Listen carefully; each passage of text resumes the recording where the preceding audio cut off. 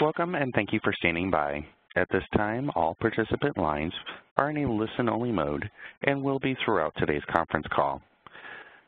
Questions will not be taken over the phone during today's conference call. However, you may submit questions on the Q&A box on the lower right hand of your screen. Simply type in your question in the question box and either send it or send it privately. Any questions submitted will only be seen by the leaders. Today's conference call is being recorded. If you have any objections, you may disconnect at this time. And now I will turn the call over to your host for today, Dr. Richard McKeon. Sir, you may begin. Thank you very much. Um, on behalf of the Substance Abuse and Mental Health Services Administration and the JED Foundation, we want to welcome you to the call today. Um, the, uh, I think the speakers that you will be hearing today will be discussing a, an extremely important issue of uh, the taking of uh, leave um, by students uh, with mental health issues on college campuses, really a, a critical decision with long-lasting um, influence and implications for the students as well as for the, as well as for the colleges.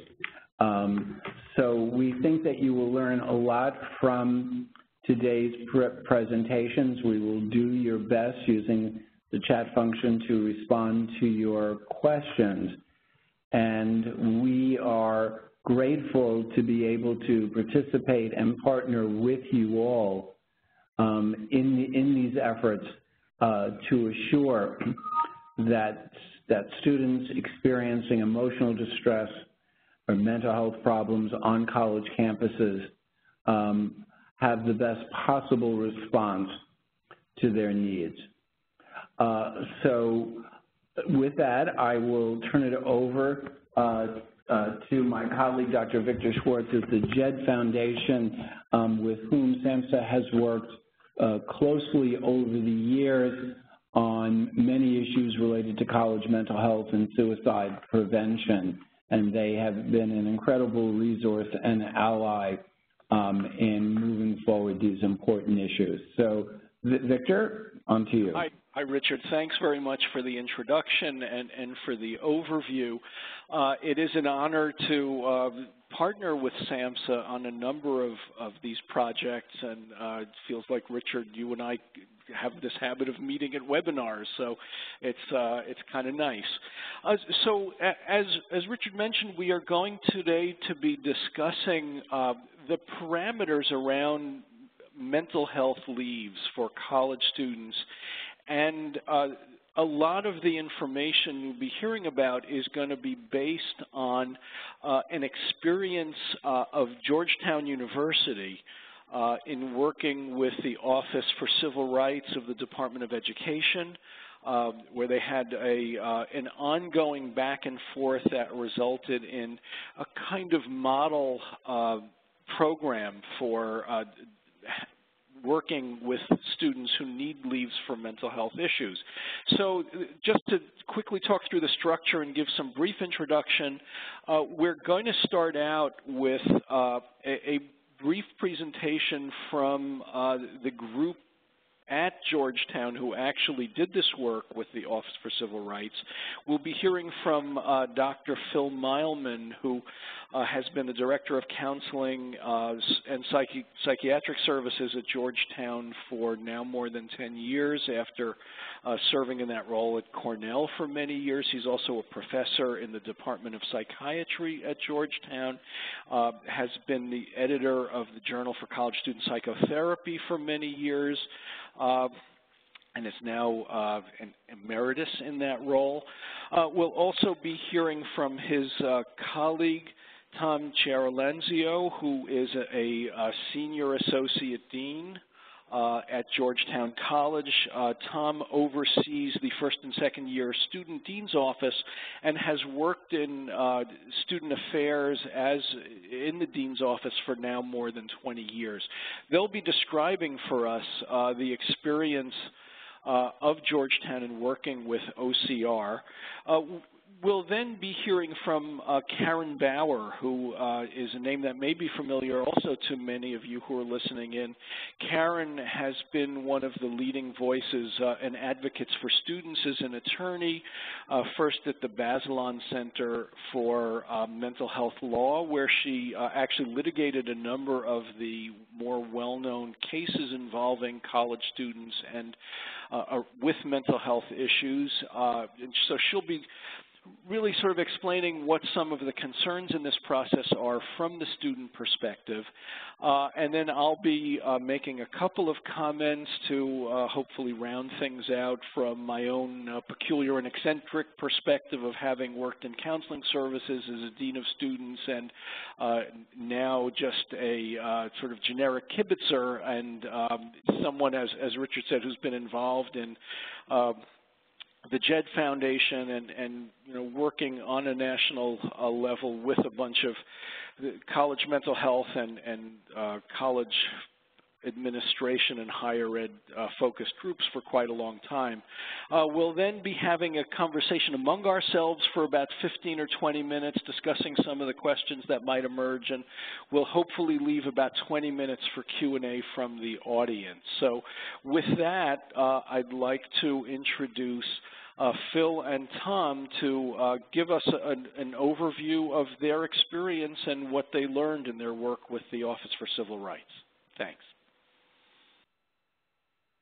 Um, good afternoon. This is Phil Meilman, and I'm sitting here with my colleague, who I will let introduce himself. Sure. Just like to say um, hello to everyone. My name is uh, Tom Chiarolanzio, and um, I'm going to share some perspectives uh, in my work with students who have sought medical leaves of absences and um, our coordination and collaborative work with our counseling center here, which is run by Phil Meilman. Um, so uh, I'd like to give you a little bit of background. Um, I've been involved with medical leaves since about 1986 um, when I was on the staff of the counseling service at Dartmouth College. Uh, they needed someone to oversee that process. And as I moved through my career at different institutions, um, I have worked on this and refined it uh, with each succeeding year. Um, uh, at uh, the College at William & Mary, at Cornell University, and now here at, at Georgetown. Um, so what I'd like to do is give you a little background on um, medical leaves of absence uh, in general. Um, so that we can put this all in context. Um, the goal of a medical leave is to support a student in succeeding in school, save their academic record, enable the student to get some help, and uh, come back to the university with a, an enhanced uh, ability to function both academically and personally. Um, however, a medical leave is really the last resort.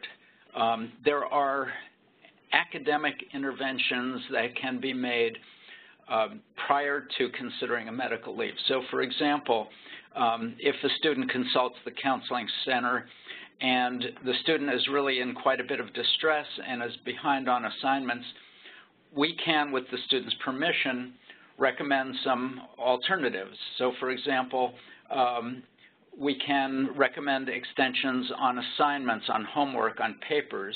We can recommend delayed examinations. Um, these, are, these would be typically handled by our calling the dean's office uh, and discussing the case with them.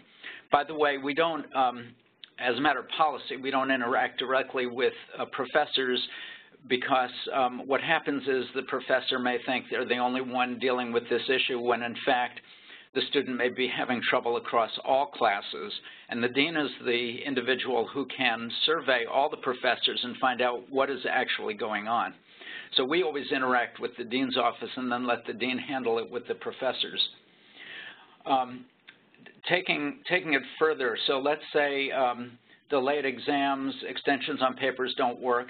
Another option is the student could take incompletes at the end of the term and finish up the, the coursework uh, within a specified period of time after the semester or term ends. another option is to drop a course, uh, again, for medical reasons. Sometimes that uh, if it's a particularly uh, troubling course and it's throwing the student into disarray, sometimes removing a single course will enable them to refocus and uh, uh, be able to function well in the remaining courses. In less frequently two course drops, if someone needs more than two course drops, then we're probably looking at the need for medical leave of absence. So the medical leave is not the first go-to place. The medical leave is actually a last resort when all else fails. Um, and the, the other thing that I'd like to add and emphasize um, is, as Phil mentioned, Dr. Meilman mentioned, um, really we are looking out for the best interest of the student at this time, and thus these accommodations exist to try to work with the student to help that individual student get through this time of, of medical concern. Um, and really emphasizing the collaborative work. I think that's a really key word, um, is that this is a collaborative team trying to work and support the student between the counseling center, the dean's office, the student, and the student's professors, um, all working together to try to figure out what could be the best possible solution before going to the resort of taking um, a full medical leave. A um, couple of other points I want to make is um, we're talking about voluntary medical leaves. Uh, involuntary leaves is a topic uh, that's entirely separate. We have a policy on involuntary leaves, but it's not for medical reasons um, because that would probably be a violation of uh, uh disability law. But um, uh, we've only used that actually once in the last 15 years, so involuntary leaves almost never happen here. Um, this, though, I want to emphasize that this is about voluntary medical leaves. I also want to mention that this is uh, different than the um, reasonable accommodations for ongoing documented disabilities. Uh, when we get to a medical leave situation, it's more about something that's occurred uh, in the um, in the near term, not something that's been longstanding and documented. Um, so by way of background, in 2011, we revised our, our voluntary medical leave policy uh, in response to a, a um, complaint to the Office for Civil Rights in the U.S. Department of Education. Uh, there was a complaint that the then existing medical leave policy imposed an unfair burden on a student's uh, return. Um, so we arrived at, um, you know, there were two, two ways to go. One is um, the Department of Education can do an investigation and issue a finding. Um, the alternative is to arrive at a negotiated resolution. And uh, we, we chose the latter. We had a, several meetings with the uh, Washington, D.C. office of um, the uh, Office for Civil Rights. Um, every district, the various districts have their own subset of staff, but this was the staff that was here in town. And sitting around the table were the OCR representatives, our legal counsel, uh, our office here, uh, CAPS, the Counseling and Psychiatric Service, um, the Assistant Vice President for Student Health, the Office of Institutional Diversity, Equity, and Affirmative Action. A um, couple of other things uh, that we wound up with um, in terms of goals here in this negotiated resolution was to help the student, um, we've alluded to this before, help the student avoid failing grades, avoid academic suspension if they're at risk for that, allow time for treatment, restore health, return with a much better chance to succeed, and to do this in a way that conformed to recent, recent interpretations of the uh, Section 504 of the Rehabilitation Act, while at the same time maintaining what we needed to maintain to have an effective policy. So when we talk about uh, medical leaves, there are uh, several different sections to it. The first one is the exit process. Um, so the first part of it is the leave taking. That has to be initiated by the student.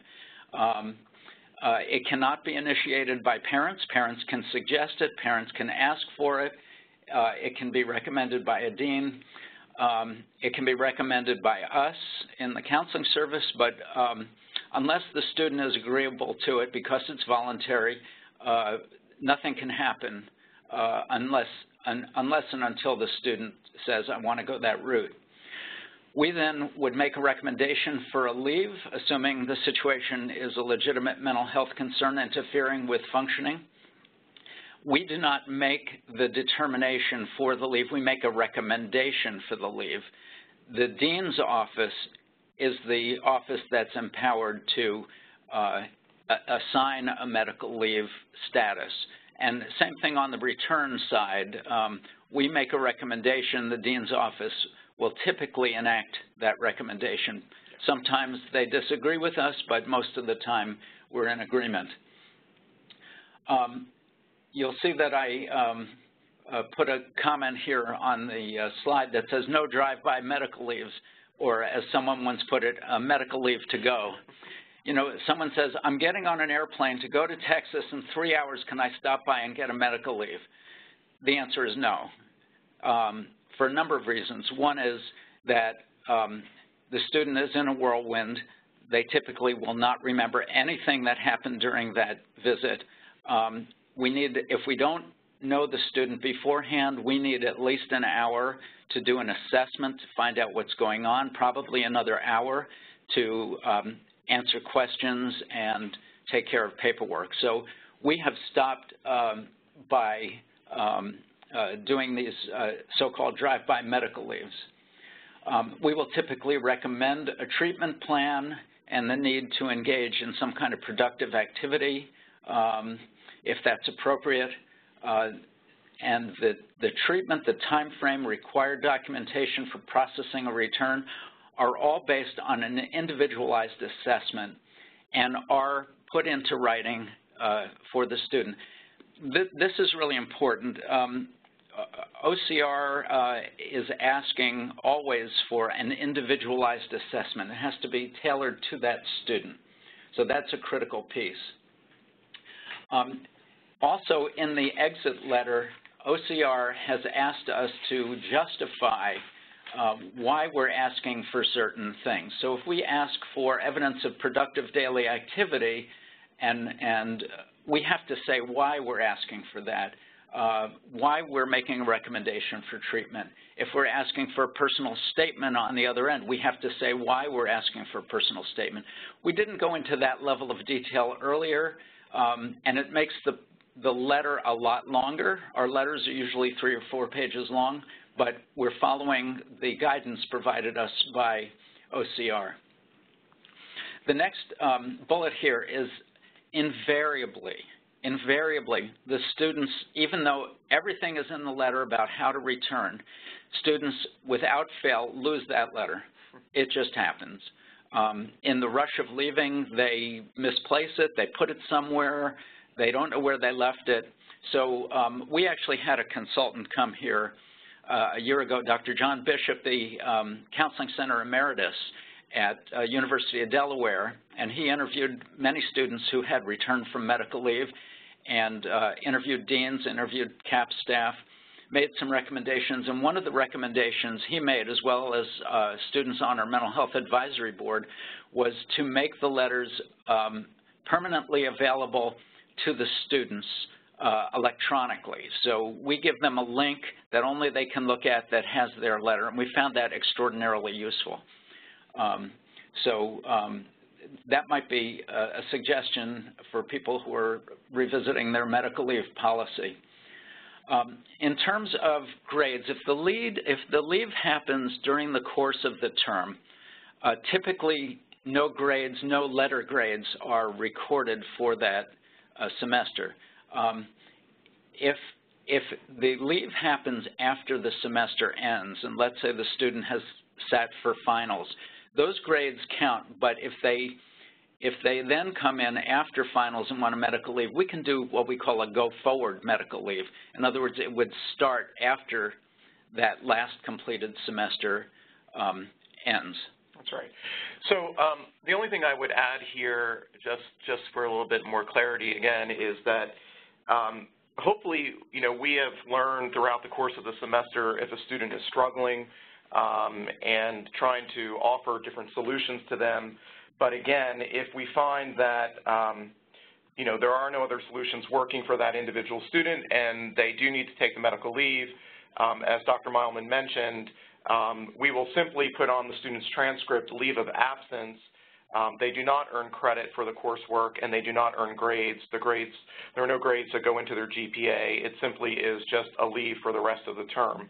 Um, but I do also want to reiterate something that Dr. Meilman said, that if a student actually completes the semester um, and sits for exams but doesn't pass the exam or doesn't turn in some final work um, and the professor grades the student the grades will remain on the transcript, and as Dr. Meilman said, um, you know, we will do a medical leave going forward, but we don't go back and change grades um, if a student is taking a leave after the, the semester concludes.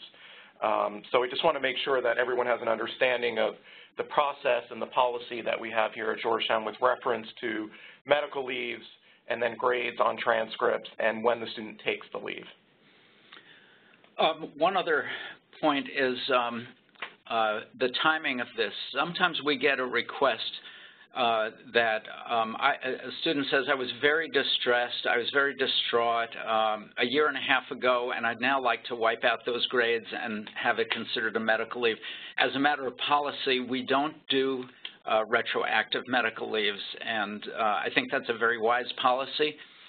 I think in the rare instance where a student was actually hospitalized a year and a half ago and there's contemporaneous records of that, that would be a different story.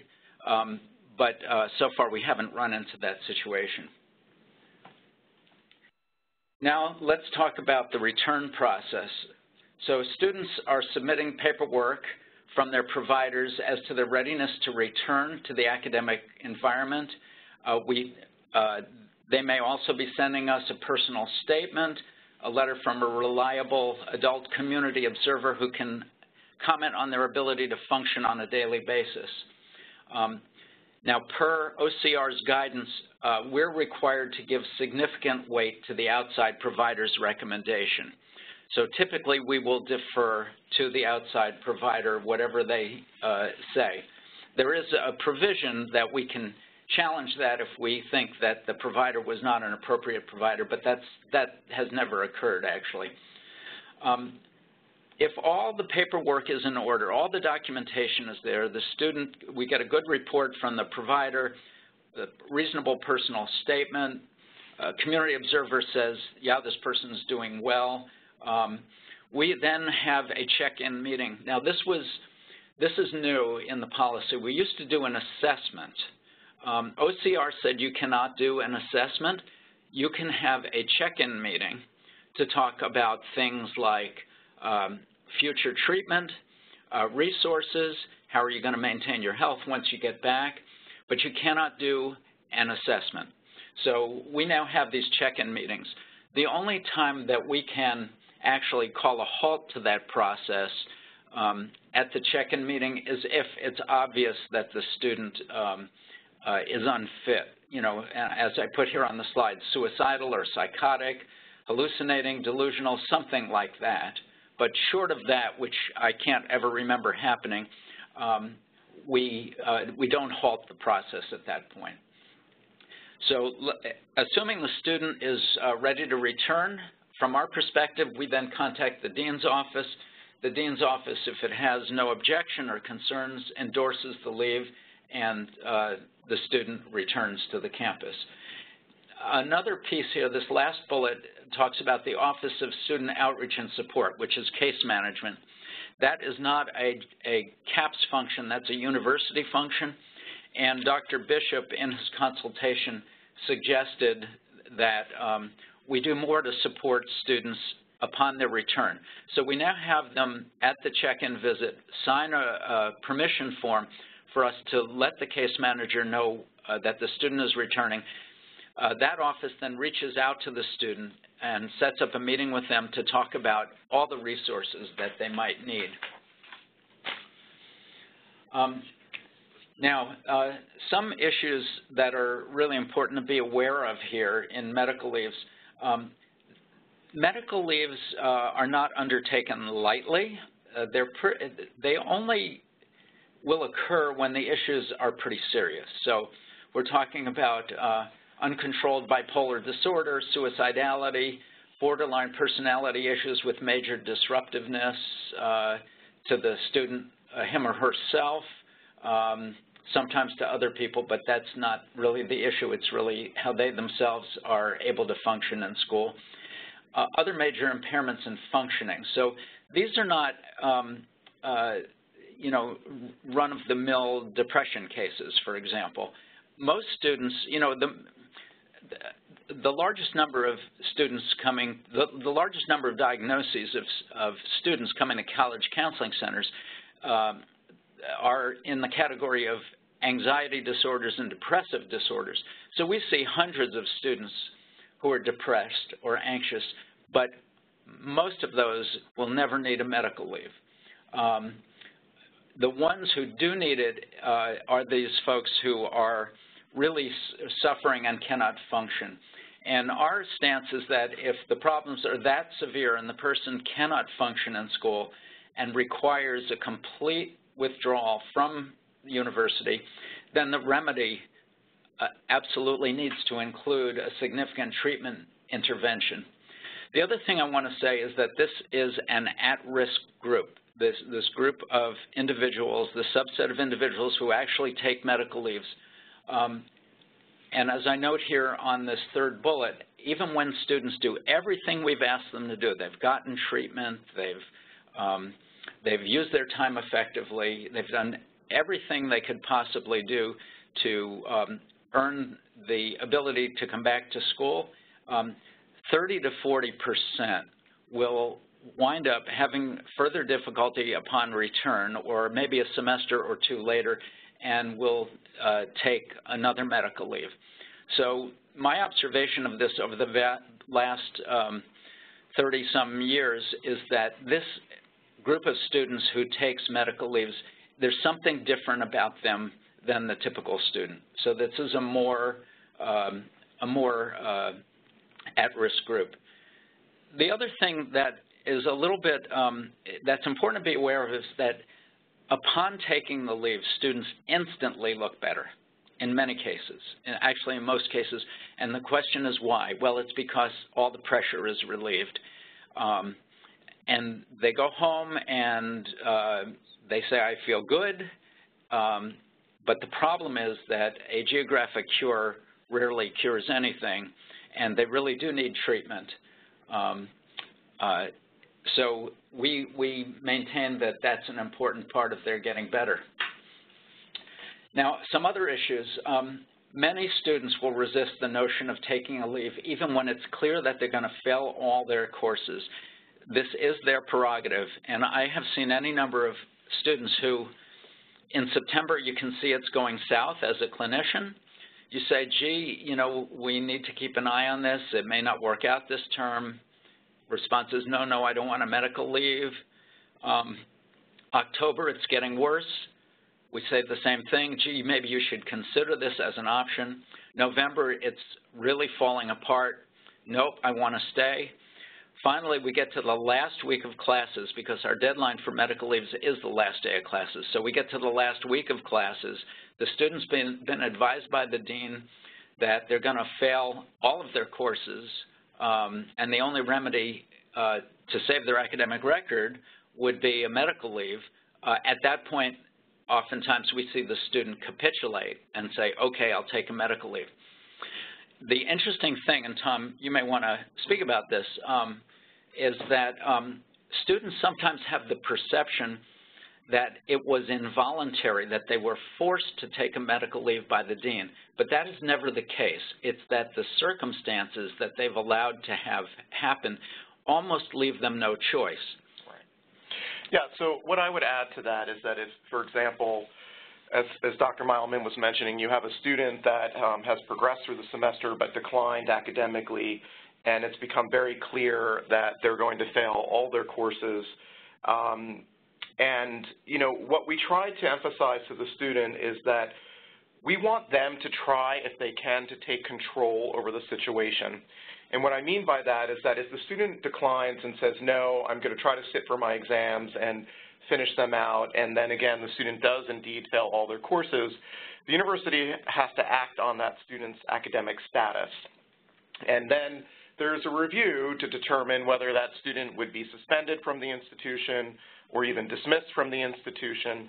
And when we're in meetings with students that are in this situation, we try to make certain that they understand that it is in their best interest to take control of the situation and maybe seek out that medical leave rather than the institution after the fact then enforcing a suspension or a dismissal. Thanks for uh, clarifying that. It's so helpful to have a dean's perspective uh, on that. Um, another issue to be aware of um, is that it's I've rarely met a hometown provider or an outside provider who says a student isn't ready to return. Um, there's a little bit of a complication on this because uh, they don't get to see the student in the academic arena uh, with all the social stressors and the academic stresses and so it may look to them that the student is pretty intact, um, uh, but um, again, we try to get a release to speak to the outside providers so that we can brief them on what's actually happening. Um, let's see. Um, on the next slide, um, there are some issues that uh, affect uh, students' views on things. Um, some people, some students don't want to leave the area if they take a medical leave. There is no requirement that they go home. They can live anywhere that they want to. We have no control over that. If they want to stay local to the campus, that's certainly their prerogative. Um, some people feel that they don't have the funds necessary for treatment, but uh, here in DC we're lucky, but most communities also have um, low-cost or no-cost treatment options. Um, some people don't want to leave because they say they they are not going to graduate with their class, and somehow that becomes an issue. But uh, we would typically point out to them that um, in a couple of years, it's going to really make no difference what year you graduated. The more important thing is that you graduate, and that when you're in school, you're not just barely hanging on by your fingernails, but that you're actually thriving. And wouldn't time off enable you to get the treatment you need and to thrive? Um, some people fear losing their friends. As I mentioned, nothing to stop them from seeing friends on campus. Some fear losing a scholarship. Um, uh, I'm not an expert on scholarships, but I do know that some of the uh, scholarships can be held for them upon their return. Uh, sometimes there may be loan forbearance uh, given that it's a medical circumstance that causes caused them to take the leave. Um, last bullet here says some fear they will just mark time at home, and um, that's where we discuss with them the need to do something productive. Um, on this last slide, um, I have some useful references. Uh, the first item here is actually in the webinar um, uh, attachment uh, that you might have seen when you got the notice of this meeting. If you click on resources, if you go back to that item, uh, you'll see it says resources, click on that, and you will actually get the entire text of this article. And this article covers in more detail the, the issues that I'm talking about here today.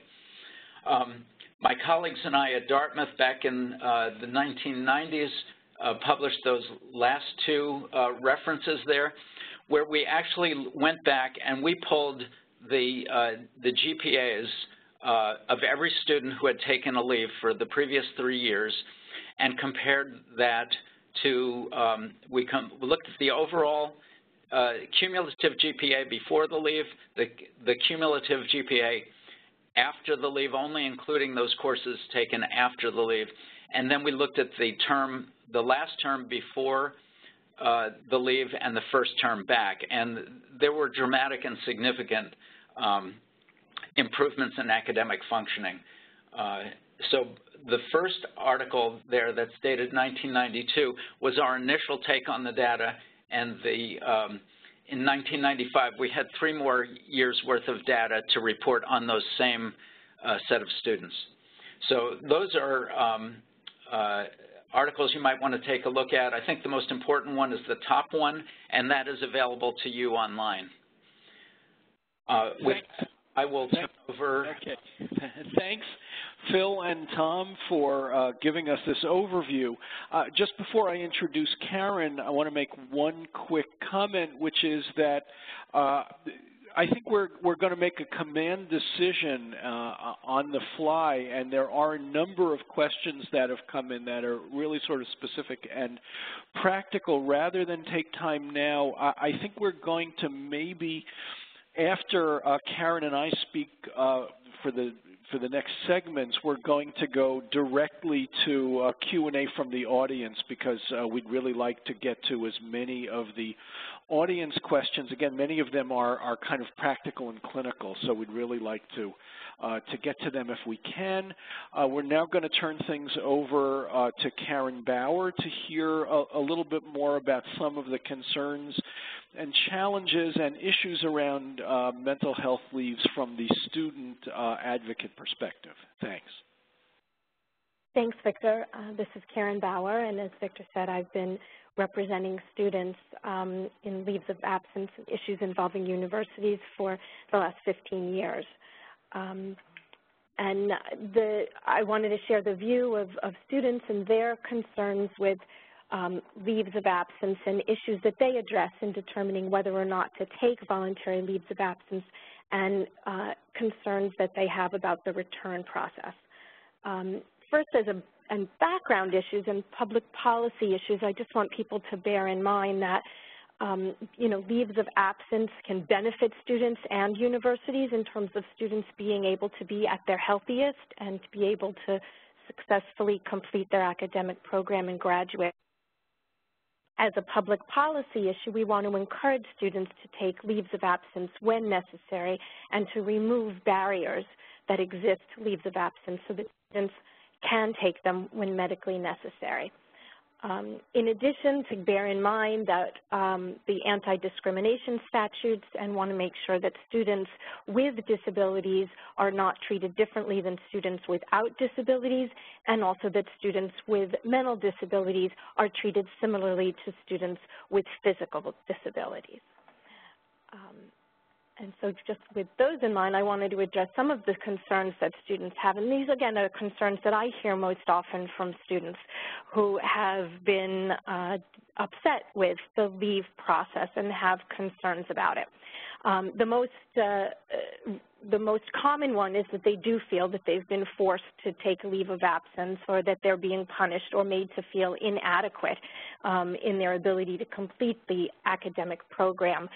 Uh, and so they, uh, you know, they, they have these concerns. Um, there's, um, they're also concerned that there's a, a, an academic gap that they're going to have to explain if they take a leave of absence, and as uh, Phil mentioned, concern about graduating with their class.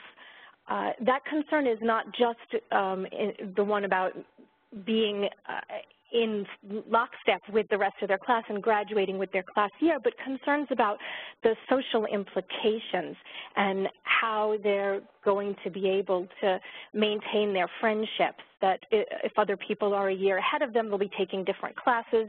If they're going into their junior or senior year, their friends might graduate and they might not know anyone uh, when they're returning to school. The, um, the, other concerns, and many Phil mentioned, so I won't go into detail, are social isolation, loss of the support network, maintaining friendships if they have to take a leave and leave the area. Um, many have expressed difficulty, uh, concerns with difficulty of meeting leave requirements and uncertainty about what they have to do in order to meet those requirements and successfully return. Um, and of course, they do have a lot of financial concerns about what the impact of leave of absence will be. Um, so in addressing many of these concerns, um, first is uh, a policy, a, a, leave of absence policy needs to be transparent. It should be in writing and easily accessible to students. Many, many times I try to find a leave of absence policy and it is buried somewhere in a student handbook and um, students are not uh, aware of it, they're not sure where it is, and have difficulty finding it. The policies are also not clear. Um, policies need to provide adequate notice to the students about what's going to happen and what the process is, including what's going to happen to their classes, their transcript, their housing, their loans, financial aid, and their return conditions. Um, and also the policies have to be followed. Many times I do see um, policies that look good on paper, but uh, are not followed by the university. Um, so it, if these policies are not clear and transparent to students and they know what's going to happen, they'll be reluctant to take a leave of absence. Um, the policies must also be voluntary. Again, this is where I hear students talk about feeling that they've been coerced. Um, a, a, lot of times what, what, uh, what students report to me is that the conversation goes along the lines of the school thinks that they need to take a leave of absence and that if they don't take a leave of absence, they'll be placed on an involuntary leave of absence and that that will be much more difficult for them, that it will be reflected in their transcript and that uh, it will be more difficult for them to return with additional conditions. Um, and that's not a voluntary, that is a coerced leave and not voluntary. So I think it's problematic to use involuntary leave of absence as leverage. More appropriately, I think discussions about what the circumstances are and what the impact on their academic record will be if they don't take advantage of a leave of absence um, as something to benefit them. Uh, students often also report to me statements that are made during the discussions um, that imply that, you know, maybe this isn't the best school for you, uh, not every student is college material, this school is really rigorous and you may be better off somewhere else. And uh, statements like that do make students feel that they're not welcome there, that the school believes they're a problem and wishes they would just go away and go someplace else. So as Phil said, it's really important that the process be voluntary and that students control the process. Um, and in that vein, the, the policy should also be flexible. Um, as Phil said, it, they may not need to take a, be or be willing to take a leave of absence initially. This is an ongoing discussion with um, presentation to students about what types of options there are for them, including extending deadlines, extending classes, dropping classes, and also taking a leave of absence as one of the uh, remedies that they may use in order to be able to uh, get the help that they need and succeed. Uh, I think uh, the policy sounds like School is a little more um, perhaps fewer students there use leaves of absence. The bulk of students I talk to are really individuals who are experiencing mental illness for the first time, and uh, it may be undiagnosed and untreated initially, and they're really not aware of the impact of the, the depression and anxiety on them. And, uh, uh, and uh, a lot of the students that I talk with have depression and anxiety and are really having difficulty functioning, and some may have suicidal ideation as well. Um, so it's got to be a flexible policy to be able to address all of those situations. Uh, it is beneficial to have no deadline for leaves of absence. Those places that have a very early deadline, like uh, six weeks, uh, I'm sorry, like four weeks into the program, make it challenging for students who need a leave later on to take it. Um, and if appropriate, it, it may be uh, it, it, may be helpful to encourage students to get their parents involved uh, in the process and discuss the options with them. Um, uh, the policies also have to be individualized, um, no blanket policies that require leave of absence for a mandatory duration. Oftentimes, sometimes I've seen policies that are, they have to take two semesters. And that may be a, a longer period of time than some students need in order to uh, regain stability and be able to effectively participate successfully in the program. So a student shouldn't be required to take more time away than needed. Uh, as for the conditions on the return, conditions also have to be individualized, reasonable, and relevant to the reason for this, that the student took the leave of absence. Um, the most common condition is usually medical treatment and documentation, um, which is a reasonable requirement, but uh, in, there are some requests where uh, the request for medical documentation is overly broad or too invasive. What's needed is some uh, affirmation that the student is doing well, is stable, and is ready to return, and, and not an entire background history of their uh, mental illness and their treatment. Um, so no unlimited or ongoing access um, would be appropriate for return from a leave of absence. And uh, good uh, weight is supposed to be given to the treatment provider's opinion, both regarding the treatment plan and their readiness to return, that a student who has had ongoing treatment with a treatment provider, usually that treatment provider um, knows the student much better than uh, an individual who might be doing just an assessment uh, of the student uh, at the point of taking a leave or at their return. One thing students mention as, as, critical to them is that confidentiality isn't assured during this process. They want to make sure that their mental health records are not going to be broadly shared and that they will be protected, their information will be kept confidential. So that's an important element of the policy and process. Um, there are check-in conversations usually, as Phil mentioned. Um, those can sometimes be onerous for students. If a student has taken a leave and lives far off campus, to come back for a check-in conversation um, can be quite costly and time-consuming. And to the extent possible, technology should be used to assist them in that process, perhaps Skype or some other technology to allow them to have the check-in process but not have to travel cross-country. And then finally, I think recognizing that there are a lot of challenges to finding new treatment providers when taking leaves of absence. If a student is moving back home and they haven't had a mental health treatment in the past, it can take quite a while to set up a new treatment team. Oftentimes there are month-long delays in getting psychiatric care and that that delay doesn't reflect a lack of commitment to treatment on the student's part and should not be held against them. Um,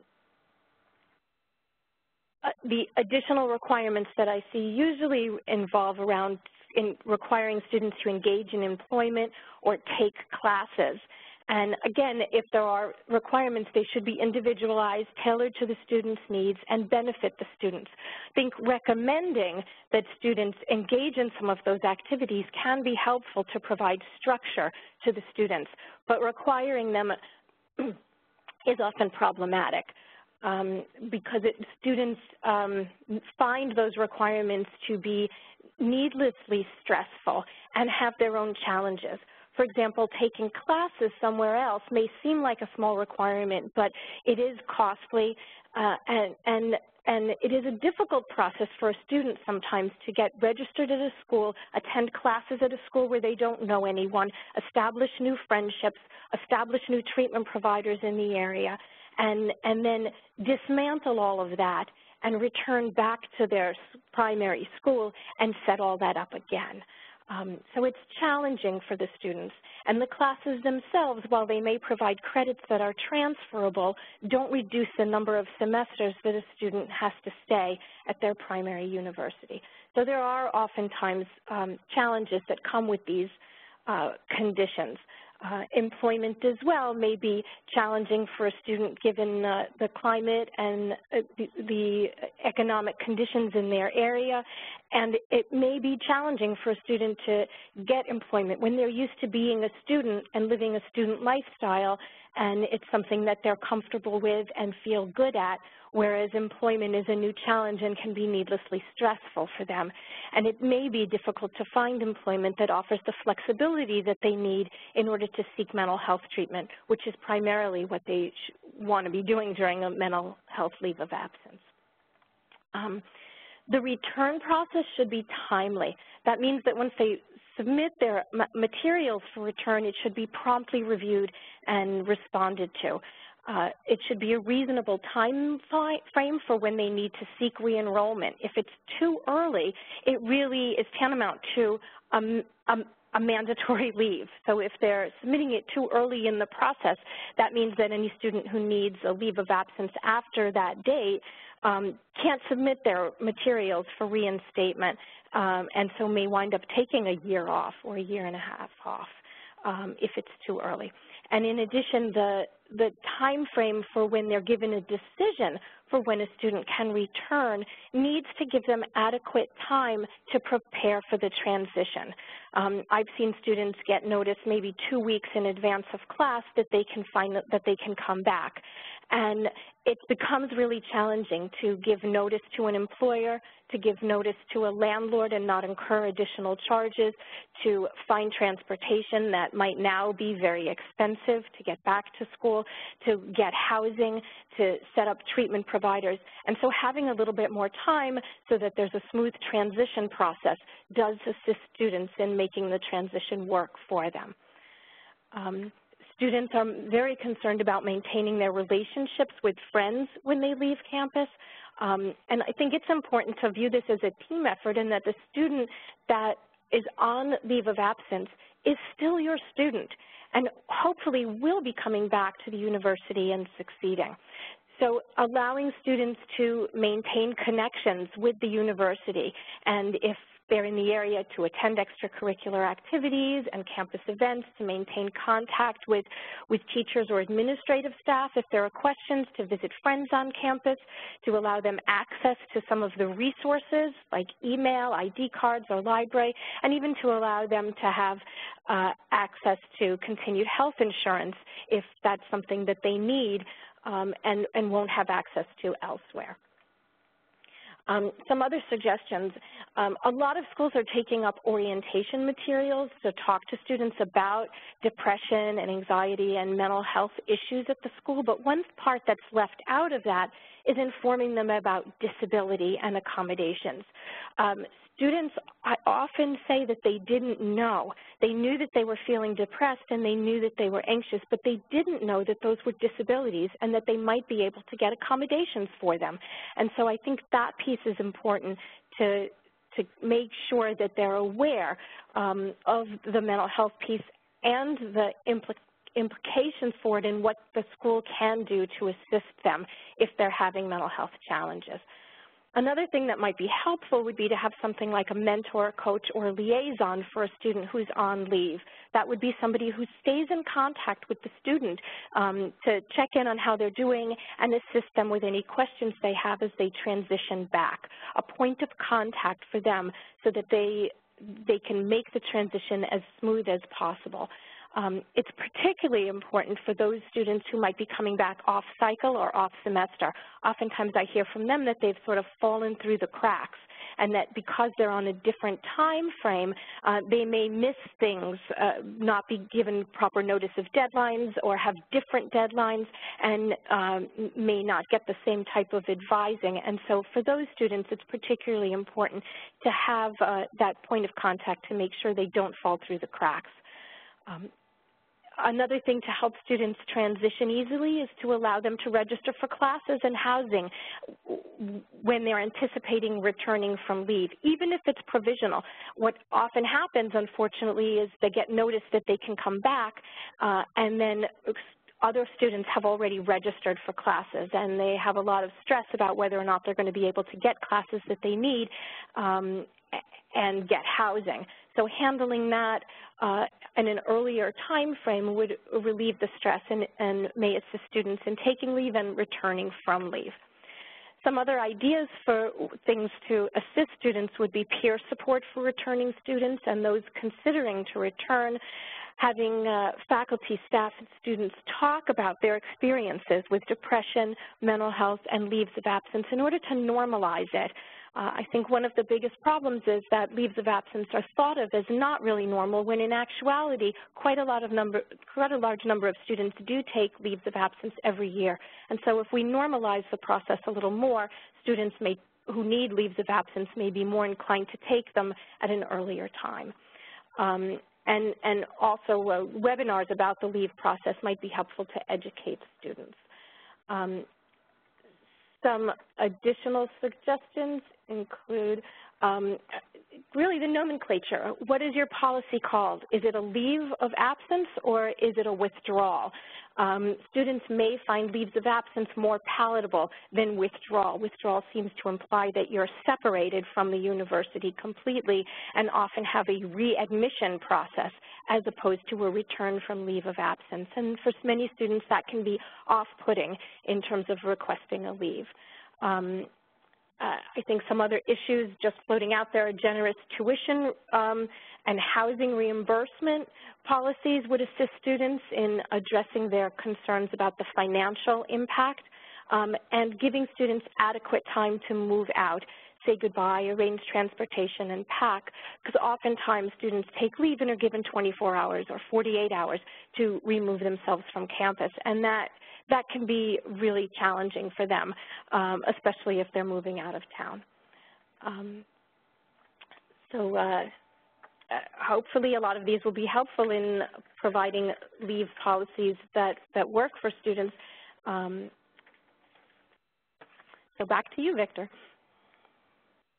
Okay, great. Thanks very much, Karen. So uh, just again, uh, a quick update that uh, we will be going after my just couple of comments uh, directly to our questions and answers because we have had uh, a bunch of questions come in. We want to try to get uh, to as many of those as we possibly can uh, while we're on the uh, webinar. But we will do, I, I believe we will be able to get through uh, the questions and uh, send you all responses down the line if we don't get to everyone. So uh, if, I can just try to maybe summarize what, uh, what Tom and Phil and Karen have uh, presented and, and, just leave you with some broad principles.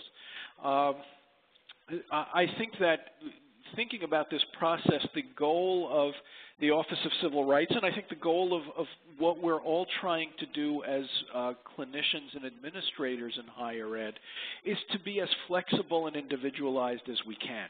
Uh, and I'm going to just say a few words about each of these ideas uh, over the next couple of slides. Uh, it, it, seems to me, and I, I think this came clear uh, both from the comments from, you know, from Tom and Phil, who are really representing the school uh, counseling and administration side, and from Karen representing the student side, that for this process to work ideally well, uh, that really the goal here is to provide support and care and the flexibility necessary for the student uh, to, to increase the likelihood that students can take the time off to get care when they need it, and still function in a successful and fully engaged and, and non-stigmatized way with their college or university. Uh, I, I, know there was one question about we we focused. It seems like on undergraduates, but I think pretty much everything we have said uh, would apply to grad students as well. Um, so these uh, policies and, and um, concepts really are shouldn't be functional across the board in universities. One of the ways I found very helpful to think about this is really trying to think about can you find analogous circumstances uh, with a medical condition. Um, the student who might have a chronic and persistent medical condition or students who may have an acute medical condition, how would you handle that and, and would it be analogous to the way you would handle uh, leaves uh, for mental health purposes. Uh, the other thing, the other point I want to make is that, uh, you know, Karen tends to get involved and, and often uh, the situations become contentious because we don't often or always communicate as clearly and understand the perspectives of the parties involved in these situations, which include students and their families very often, and clinicians and administrators, and, and maybe even other, uh, other students in the system who may all have uh, parts to play in how some of these situations play out. Uh, and it's also important that while I'm presenting these as separate ideas, they really are all kind of overlapping. So just to flesh out a little bit, this idea of flexibility uh, and, and, I think you've heard this again in both presentations, that uh, the fewer restrictions and specific, you know, very limiting guidelines you have, uh, the better your policy is, that the policy should be really addressing the specific circumstances and needs and, and concerns of the particular students. And, and, you know, just as with physical illnesses, there are acute dramatic things, there are chronic persistent things. They have different kinds of needs and, and uh, in some ways trajectories and, and the ways that you would address them with a student would vary. The same should hold true of mental health leaves. They're, they don't all fit into one bucket. So things like saying you need to take a year off or you need to take uh, a semester off might be appropriate in many circumstances, but actually really inappropriate in others. Uh, and the condition should be driven again by the specific uh, times and circumstances of the student. Uh, many of the problems that come up really, uh, I think as Karen uh, intimated, come, flow out of a sense that the student might not either understand, and often the family too, might not understand what the uh, reasons for particular conditions or circumstances are. Uh, and, you know, very often if that stuff is really laid out clearly, uh, what the what the needs are, why this is being done in the student's best interest. Very often, uh, the process will go better, and the student's needs uh, uh again should take precedence over the needs of the universities. While you know we need to be realistic. I mean, a student who has a persistent problem, who needs to take repeated leaves uh, for perfectly legitimate reasons because of a chronic recurring condition something like tuition refund insurance uh, might be uh, something that might be a reasonable and fair requirement. Again, as long as you handle a medical problem uh, the same way or along the same lines that you would handle a, a mental health problem. Uh, and, and, I think, as I've already said, if students feel their concerns are primary and the institution is really trying to care for them, uh, I think many of the problems that emerge may very well uh, become, you know, sort of less less problematic, less persistent. Uh, I've suggested already that, uh, you know, can you, in thinking through whether a particular way of handling the transcript or tuition refunds or whether or not the student can remain on campus, can you uh, think of a, a, situation where there might be a medical condition? Um, you know, for students who might represent uh, some kind of disruptive influence because of their behavior, well, sometimes the analogy could be to a student with a contagious disorder. What, under what circumstances would you or wouldn't you allow them to uh, stay on campus or, or to, uh, you know, be involved in other kinds of school activities? Uh, I know a number of questions have come in about the, the processes and assurances, uh, and, and, I think it'll be interesting to uh, talk about those. But you know, the value of getting both a uh, note from the clinician back home that does give some indication of, uh, of both the course of treatment and the student's readiness and having that reviewed by the counseling service is a way of making sure that you know, both the uh, clinician back home is to be quite frank, legitimate because there are some rare circumstances where people might not be completely uh, forthcoming or honest in the process. And hopefully having that second level of review would help to flesh that out. And also, uh, many clinicians who, who are locally based might not understand some of the challenges of living on campus in a less structured environment. It's also, by the way, an opportunity to set up an ongoing treatment plan. And one thing that uh, I think hasn't been talked about is whether it is okay to uh, ask students to have some kind of ongoing treatment when they come back to campus after a leave. And I think the answer to this is as long as it is the way you would handle somebody with a medical condition and as long as it's reasonable, and handled in a reasonable and fair and non-coercive way, as long as it's conveyed that it's in the uh, best interest and need of the student, uh, then it's not inappropriate to have some fair and reasonable level of expectation of follow-up care. Uh, and finally, as I said before, when conflicts come up, one of the important ways of managing this is really trying to understand the different perspectives. It's very common that students and parents are, as Karen said, worried about loss of income uh, through tuition and uh, you know loss of credits and things like this. There's also often concern that the school might cr create barriers to letting the student return. Uh, even though the conditions have been laid out, sometimes an article in the school newspaper, uh, you know, will uh, tell a story of some student who may or may not have had a difficult time getting back into school. One uh, story like that can create a tremendous amount of uneasiness and distrust uh, and uh, can really create barriers. So it's really important for the people in the uh, upper administration, for the deans, for counseling service, to make sure, as Karen said, that the information is transparent, but that there is communication with, with students, with student leaders, uh, and through student media that the, the process really does 98% of the time uh, work as uh, it is supposed to be working. So with, with these uh, comments in mind, I am now going to invite the other speakers to join me, and uh, we can begin to uh, try to take a look at some of the questions that have come through. And again, we will try to uh, address questions in an email that uh, will be sent to the participants with uh, comments from us as if we don't get to everything, which I'm sure we won't. So if uh, Karen and, uh, and Tom and Phil, if you can join me, I, am just going to begin uh, presenting some of the questions. Some actually may be fairly quick to get to, uh, but we have about 20 minutes and probably about 25 or 30 questions, so let's see where, where we can go.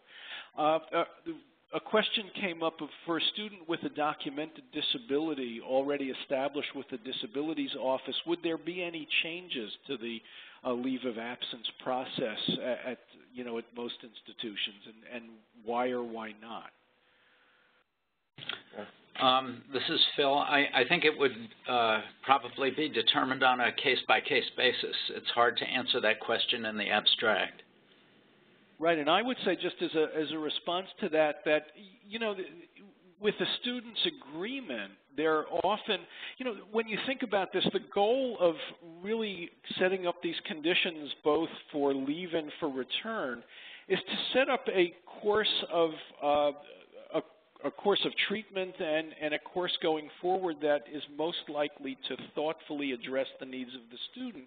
So if somebody is known to the disabilities office, it's certainly with the student's agreement may be valuable to get their input uh, because that might help to clarify really choices around uh, some of the conditions both for leave and, and, return that might make sense for this particular student given their, their history and their you know, treatment needs and problems. Karen, you have any yep. thoughts about that?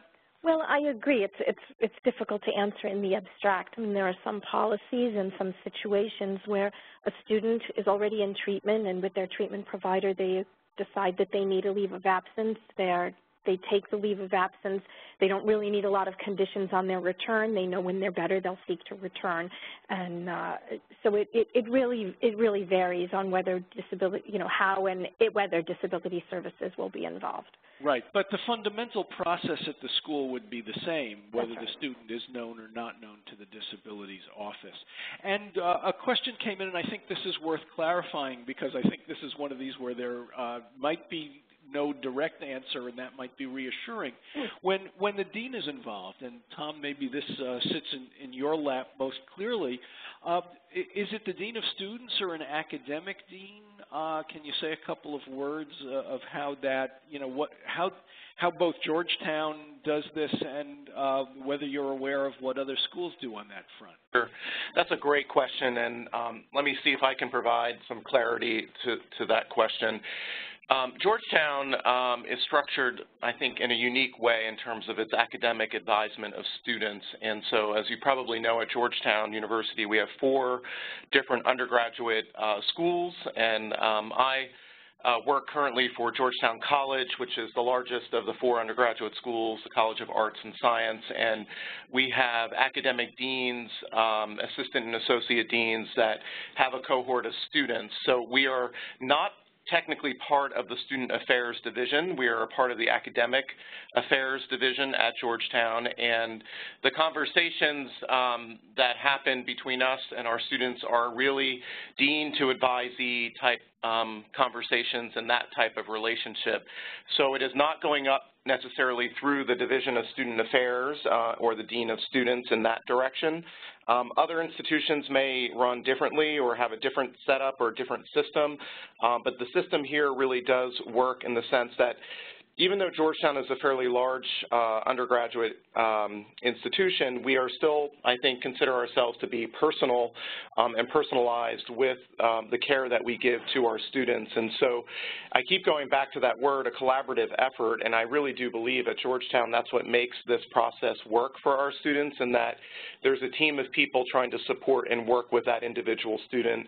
And going back to your your uh, uh, previous question, um, if the student is registered with um, our accommodations office, the Academic Resource Center, we would certainly include that individual um, in the conversations um, to, to help guide that student. So um, hopefully that provides some clarity in terms of our structure and how we work um, with our students within Georgetown College.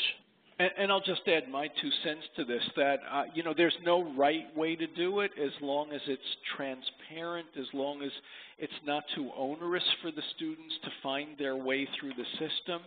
Uh, and really what's, what's important is to uh, make sure that the parties involved, whether it's a, a, dean of students who's sitting in student services who, who you know is working with the academic side or an academic dean who is working with counseling or people on the student services side. There needs to be communication. Obviously, the communication needs to be thoughtful about not sharing more information than is necessary, but there, there have to be conduits of communication with the bursars and registrar's office, with your housing office for students who are in residence halls.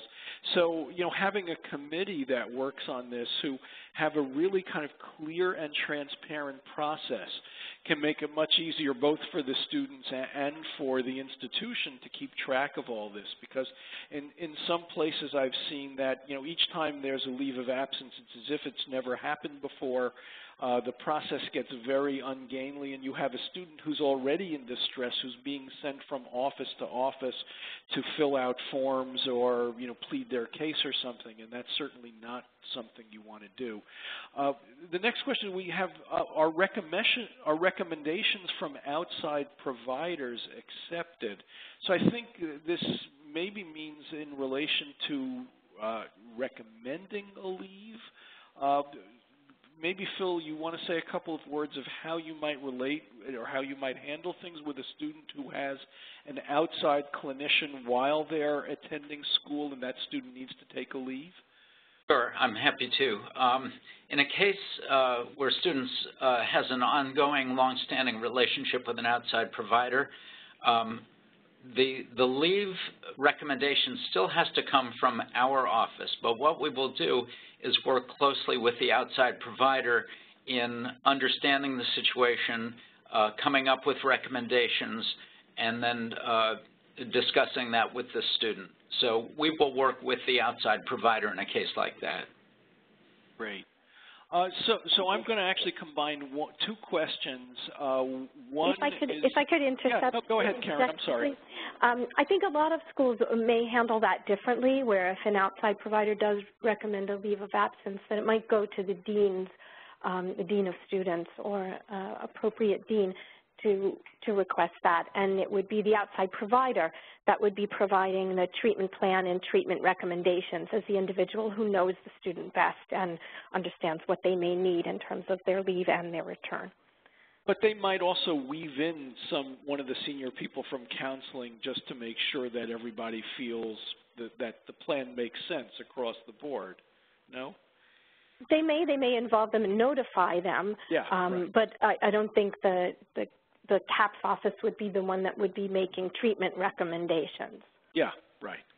So, so I'm going to combine, as I said, two questions. One is, are you aware of uh, any kind of deadline for uh, have for when a student could take a leave, and the example that's given is the last day of the semester. And I'm going to add to that a, a, another question about are, are there any conceivable circumstances under which a retroactive leave might be appropriate?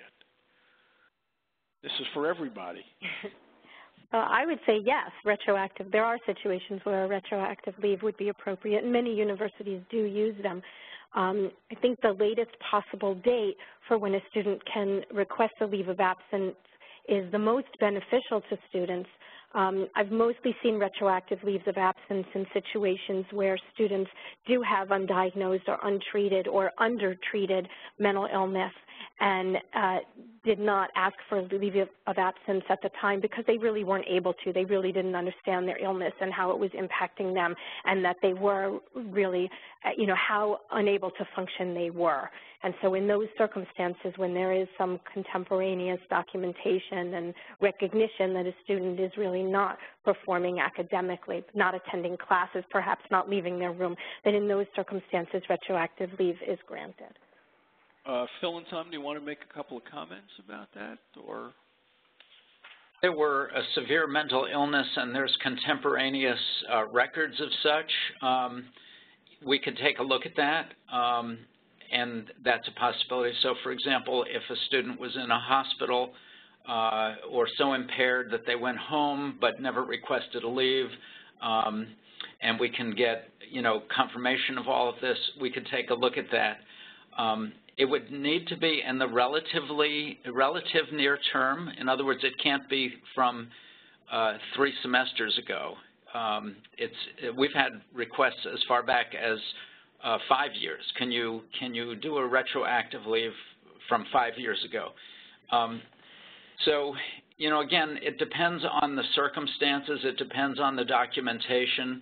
We've had some requests where there was virtually no document, no contemporaneous documentation, and on those we simply said no. The only thing I would add is that again, I think, um, and I know, you know, institutions across the country vary in size and depending on, um, you know, the outreach um, from different offices to students. I mean, we're very fortunate here at Georgetown to know, we know typically in advance when a student is starting to struggle. Our faculty have a good reporting mechanism to let the deans know, and we can get a sense very early on or even as the semester progresses, and we're very fortunate then to, to reach out to that student and or his or her parents, um, provided the students uh, allow us to speak to his or her parents, and try to um, prevent that from happening where there is a complete wipeout of some sort academically, and then we're looking at it after the fact as a retroactive um, medical leave of absence. So we're very lucky here to have a good system in place to try to catch those students if we can um, before that happens. So it's not that common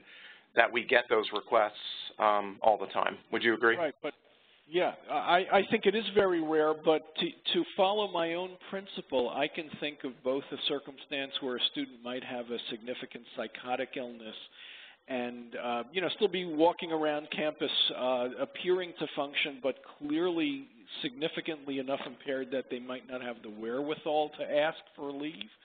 Uh, and I can also think of medical circumstances where a student might have a, an accident, you know, during finals or before finals, uh, be unable to complete the semester and also, you know, not, not be able to request the leave until the semester's done.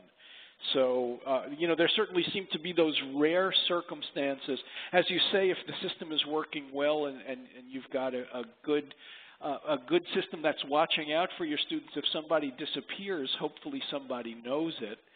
Um, but uh, th there certainly are circumstances where that retroactive leave might might be something that might need to happen and might be the reasonable thing. Ken, uh, we've had a couple of questions about tuition insurance. I jump in here. Um, um, sorry? Yes. If I can just piggyback on uh, Dean Chiarolanzio's um, comments. Um, uh, we, I think part of it depends on having a good surveillance system. So, for example, the deans, our deans stay in pretty close contact with their advisees. Uh, we also have a Students of Concern committee, as many, if not most, universities now do as well. So we're constantly sur surveying the um, the student situation, both from an academic standpoint and from a behavioral standpoint. So if you had a psychotic student who uh, was out there and not functioning well, the odds are somebody would have picked it up, whether it's the dean or residence life or some other office. Um, so it's it's not that. Uh, at least on our campus, we're lucky. It's very tight knit. There's a lot of eyes and ears on the ground. Um, so we're fortunate to be able to catch those people. So I just wanted to add that to the conversation. Right. This certainly, these kinds of circumstances should certainly uh, be the rarity, uh, but, but they certainly might come up once every couple of years or so. Uh, can we say a couple of words of, of how you all handle tuition reimbursements and Karen, maybe some of the things you've heard about that? What are what are some of the uh, benefits of that? Do you recommend it for for all students? Uh, do you make it a requirement for students who might have already uh, gone on a leave and have come back and might have a chronic condition?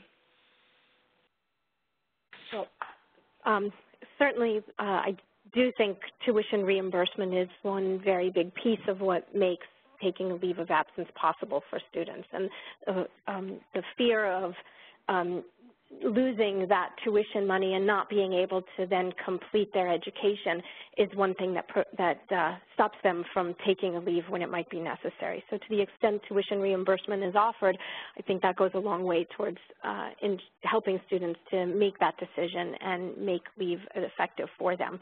Um, as well as uh, maintaining scholarships, extending the deadlines for students to get those scholarships, and making the, the money available in subsequent semesters um, all are, are helpful. Um, there is, as you mentioned, tuition insurance. Um, it's often not that, that publicized. Um, students are, are often not aware or their families are not aware that that exists even though it may be in some of the materials. It's usually not highlighted and so they're not aware of it or may think that it's not applicable to their situation, especially if it's a student who has never had uh, a mental health challenge before.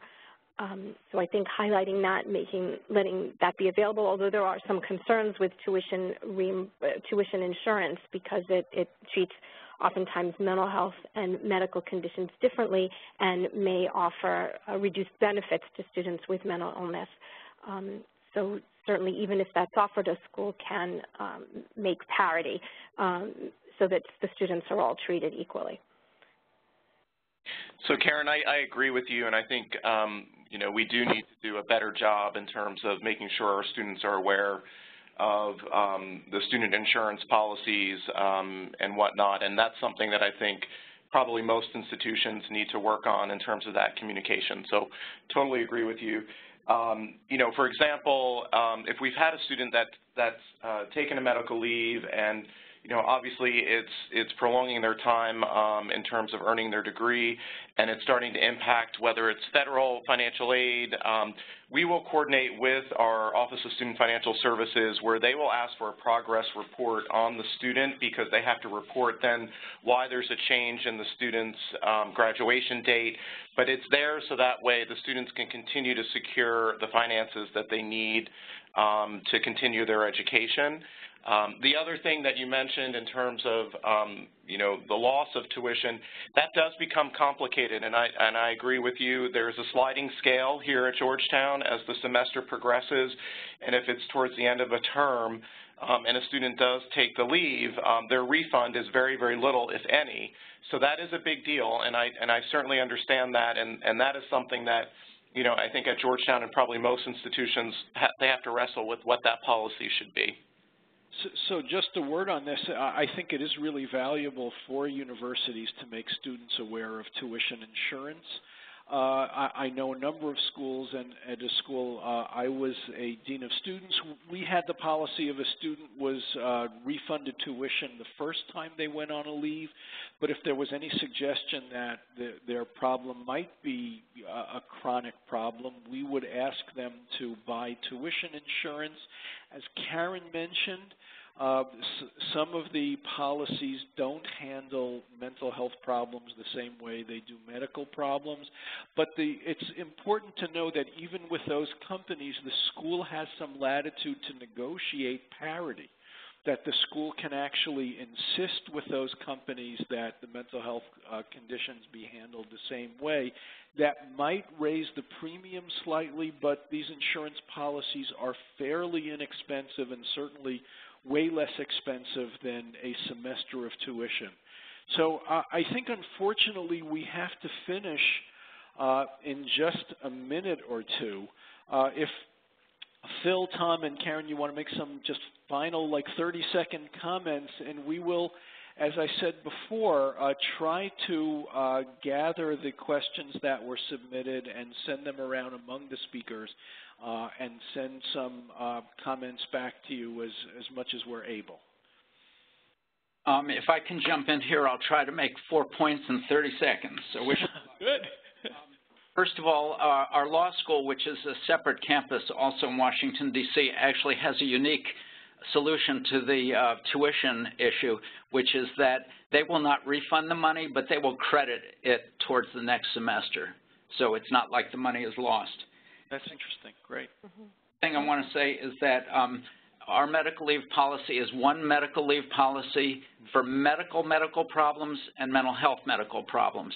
Uh, it's on our website. It's CAPS, C-A-P-S, dot georgetown.edu. That's our home page. And on the left-hand side, there's a link for medical leave of absence, and it has our policy and all associated links. So uh, and that was that policy was approved by OCR, so you might want to take a look at it.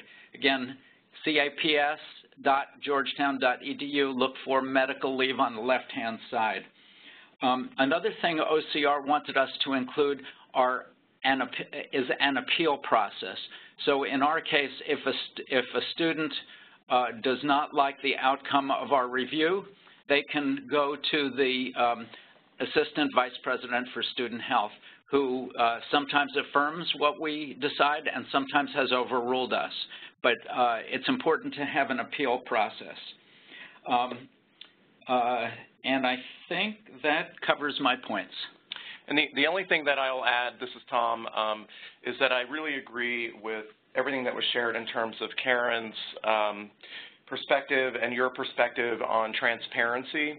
Um, and really, I think that centers on the approach um, that the, the dean or whomever is speaking with the student, um, you know, you, you, you have to be able to engage the student and have them understand really what the medical leave is intended to do. And I know that students, as Karen mentioned, sometimes feel that they're kind of coerced into into taking a medical leave. But really, our approach here is that this is a temporary time out. It is not an ending, not an ending of your matriculation at Georgetown. It's not a termination of your time at Georgetown, and that it's that the, that the door is open. It's just that you are taking some time away to focus on whatever the mental health issue may be and that was impacting your ability to succeed, to succeed as a student.